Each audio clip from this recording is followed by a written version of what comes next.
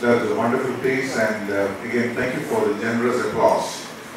So, now that the audience is packed beyond capacity, I would like to take this chance to introduce the performers of Carol George, Anna Lena, Daniel Hoffman, and Amy Phillips.